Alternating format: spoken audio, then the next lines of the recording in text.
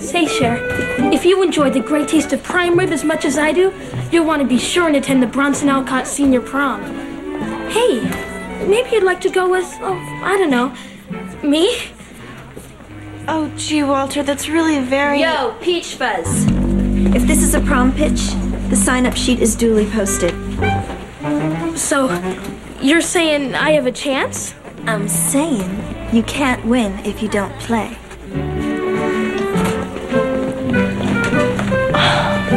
Walter is so sweet.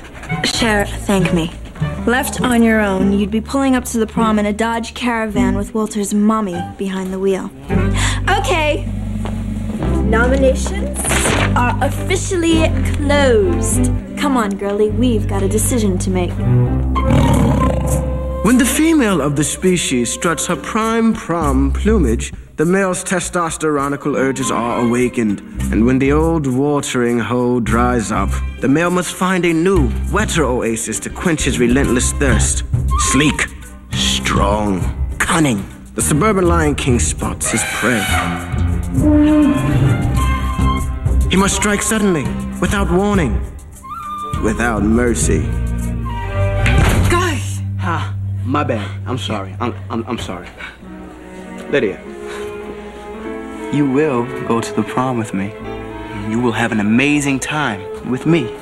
You will fall madly in love with me. Any questions? Yeah. Like, what took you so long? That's just cold. I just... Really? yeah, really. Call me with the details.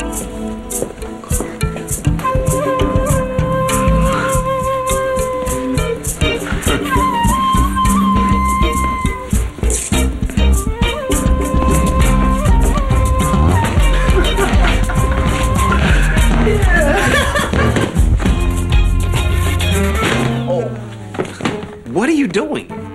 Sean, you'll never guess who I'm taking to the prom. Who? Lydia! A chick so hot, I'm gonna need oven mitts just to dance with her. Hey, congrats. Hey, but don't worry, man. We're gonna get you a date. All right, word on the street is Big Matilda finally completed electrolysis. Mur, I'd like you to meet my prom date. Nisi. I'm Murray. Uh oh. When one lion wants his fellow lion's lioness, it can only lead to one thing slap fight on the Serengeti.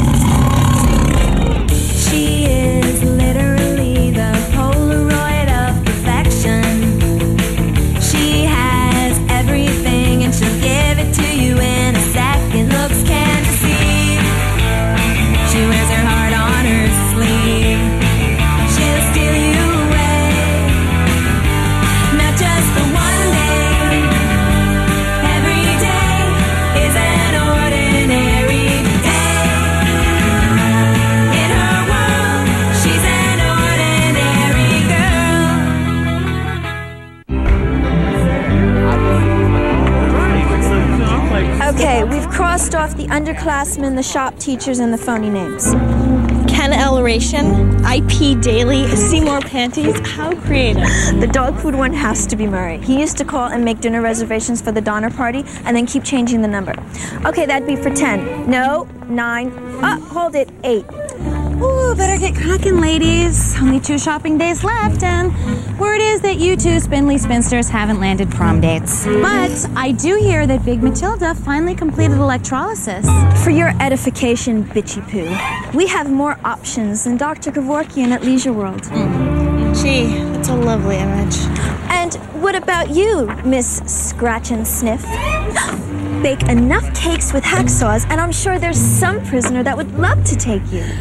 I'll have you know that I will be attending the prom with a world famous celebrity heartthrob. Oh, it's fun to pretend, isn't it? Okay, my mockingbird brains. How about a little unfriendly wager? Like, if I do show up at the prom with a world class megastud, you agree to personally campaign for me as prom queen. Okay. And if you show up with your imaginary friend, Mr. Binky, we shave your head. All right, lassies. And I don't mean that in the Scottish sense. You have got yourselves a bet.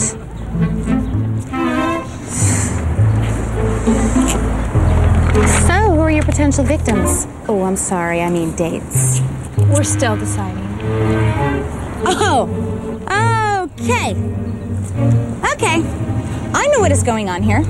You're gonna wait too long to pick dates, do a no show at the prom, and then welch on your bet to hawk me as prom queen. No way. Oh man, no fooling. She seriously needs her brain squeegeed. So, in order to protect my bet, I demand that the two of you meet me in the gym and I will show you how to pick a prom date. Please. Ta ta tards.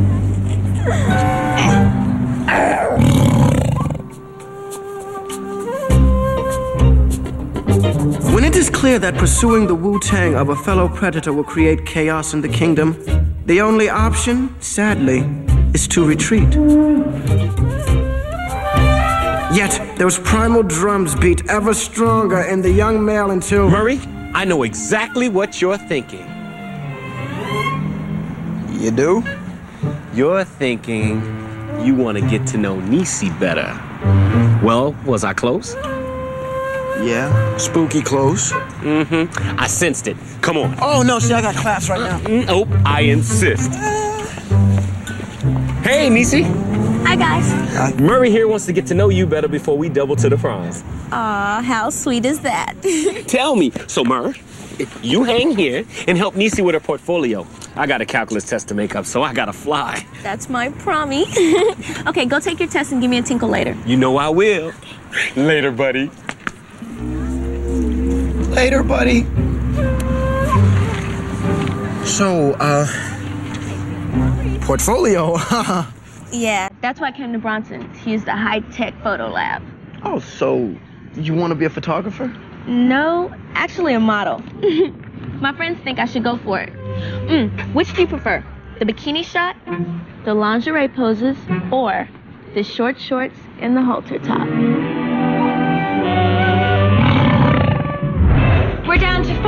Finalists as we enter the exciting evening wear portion of our competition. We should have split during the talent round. I mean, who cares if a prom date can juggle pork?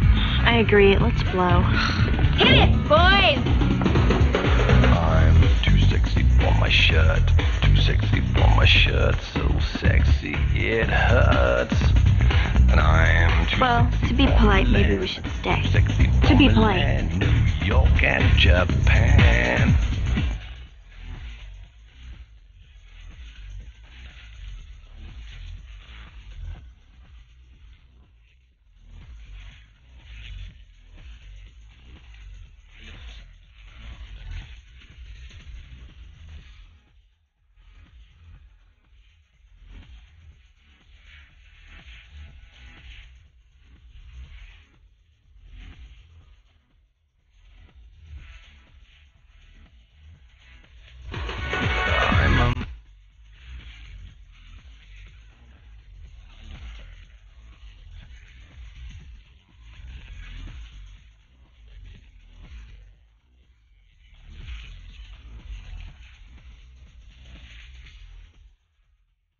Besides wanting to help animals and children, that's why I'd be the ideal prom date in the event that I'm lucky enough to be chosen by these lovely ladies. Great, thanks. Um, hi. Uh, I'm, I'm Hakeem. And I, I too am against weapons of mass destruction and, and killer bees. Look, I don't even go to this school, okay? I was just waiting here to take my homegirl Nisi home, which I still have to do if Red over here would please give me back my car keys. Hey, he was on campus, and I figured why not fill out the field with a little imported talent? Sue me. But since I am still here, I do happen to be free tomorrow night, so if either of you two are up for it, so am I. Um, there's no chance that Red's gonna pick me, right? No. Okay. That ends the extemporaneous portion of our pageant. Now, based on what you've seen and heard, Dionne, which lucky contestant will it be? Well, as nutty as this whole thing has been, I must admit, I wouldn't mind dancing the prom night away with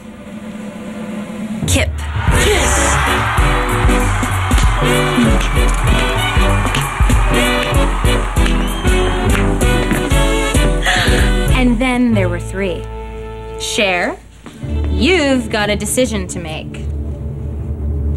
Um, I've decided. Tick tock. I've decided I'm not going to the prom.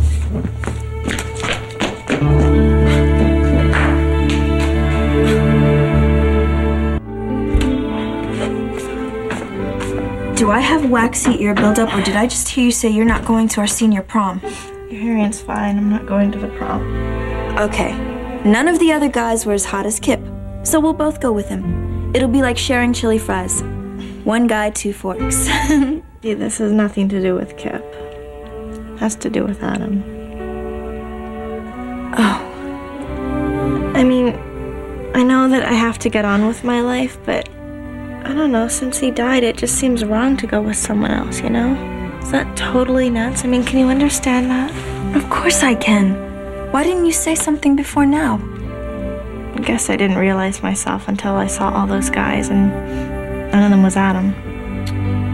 I've got it. We'll both stay home. We'll rent Titanic. Oh, maybe not Titanic. The boyfriend dies in that too. We'll rent movies, we'll eat Cheetos, and cry. It'll be fun. Dee, I need you to promise me one thing. Anything. That you'll go to the prom and have the greatest time.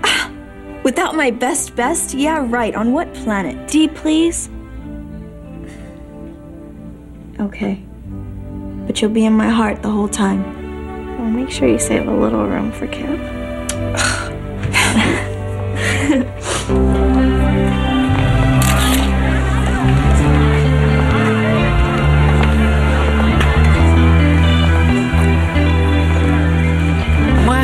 check out what they've done to the gym. Yeah, you could barely smell the urinals in the boys' locker room. Way to set the mood, bonehead. Uh, You know, I too am a Murray date survivor. Maybe we could start a support group. Pardon. Excuse me now. Excuse me. Excuse me. My god, the delusional ditz actually pulled it off? I don't believe it. That is Leonardo DiCaprio. Ah. He really put on some pounds since growing pains. Leo, be an angel and check my fur. Ah, freedom. Finally able to share my secret love with the entire world. Amber. um, Where's Leo going? You think I can get him to record that King of the World speech on my answering machine? Can he please have one evening, just one magical evening, away from all of you demanding and annoying fans? Oh, well, you know, I just needed a hunk of his hair to pay for college.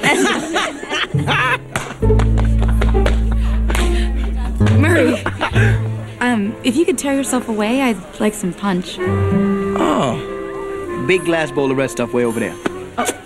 Punch. I love some too. Oh, you heard the lady, Sean? Looks like we're making a punch run. Chop, chop. Amber. I don't know what to say. How about vote for Amber Mariens for prom queen? Sean, man, there's something I gotta say to you. Me too. Yeah. Okay, let me go first. I want your date. That is exactly what I was gonna say to you. Listen, I am so into Nisi. Oh man, and I totally got it going on for Lydia. Why do you think I suggested we get to know each other's dates better? you won't not you. okay, so you know what we gotta do, right? Brain switch. No, Sean.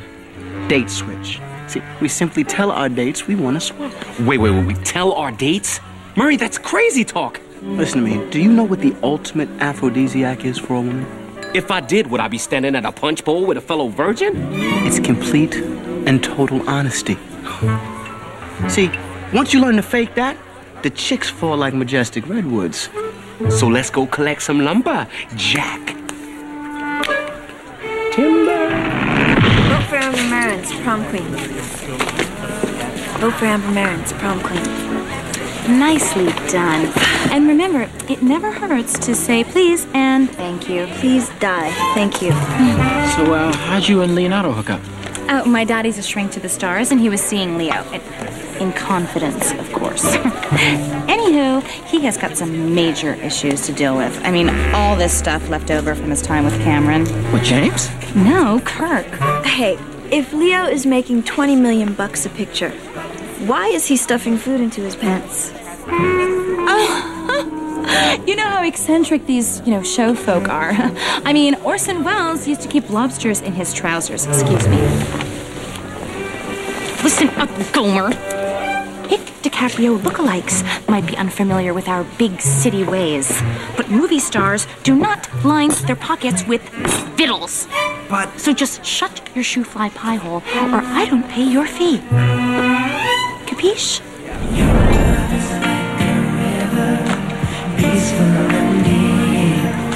So, how about you and I jump in my car and head to Vegas for the weekend? Kip, don't you think it's a little early in the relationship for talk like this? Damn, baby. You don't have to put on some nice girl act for me. I know all about you. You know all about me. From who? From Murray. Really? And what did Murray say? You know, just locker room guy talk. You know how you guys um did it.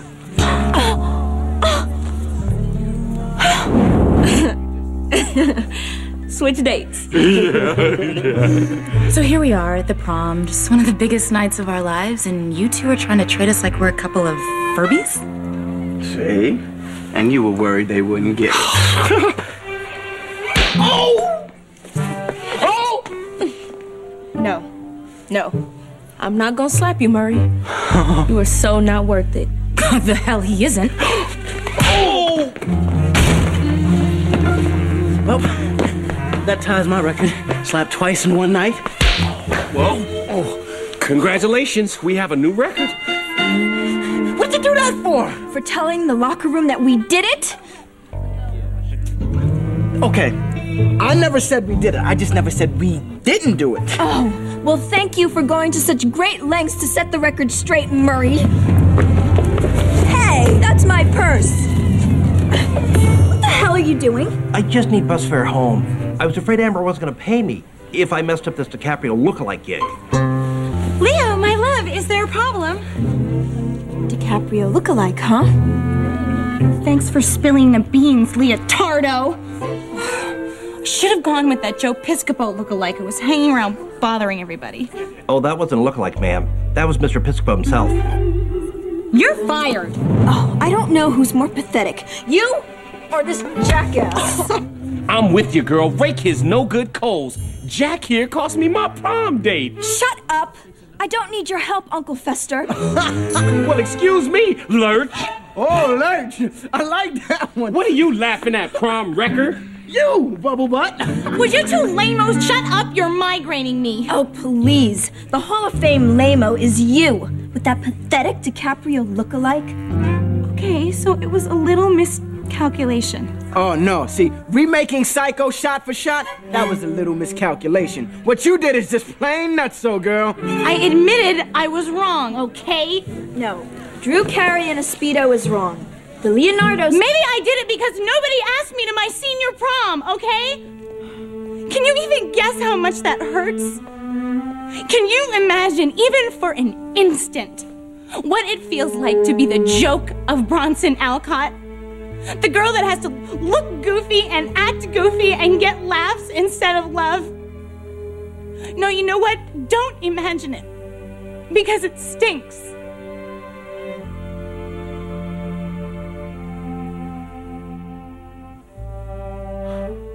Wow, Amber. Uh, I don't know what to say. And the one person who does isn't here. You called him Uncle Fester? It slipped out. Yeah, but you know it's one of his hot buttons. It's the light bulb in the mouth. Freaks me out. And Murray, you actually told your dates you wanted to swap. Now, come on, you've lectured me about honesty. Apparently, not enough about stupidity. Murray, women aren't interchangeable, even if that's what you honestly want. and Amber, you should know that you don't have to make up this fantasy life for us to accept you. Really? Well, it would help. Sorry.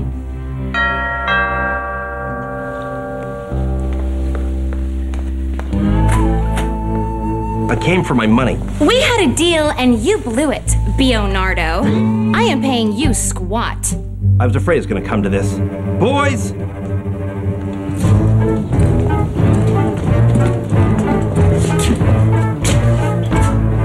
Lookalikes! Run!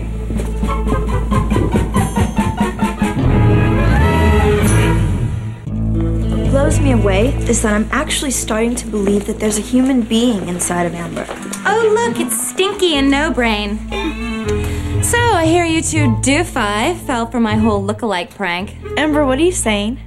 Everyone knows your Leonardo was a fake. Ah, I'm not talking about him. I'm talking about the look-alike I hired to play me. I hear the two of you fell for that whole breakdown confession. I can't find a date, and it really hurts. I wish that I could have been there to see your faces. Amber, please. You showed us a little bit of your soul. That's nothing to be ashamed of. Got you again. I'm not Amber, I'm Emma. She found me on the internet. Watch, watch, watch. I'll do her again. Chimps. I am working with chimps. Spooky, isn't it? Tally hoes. Should we call a psychiatrist or an exorcist? How about an assassinist?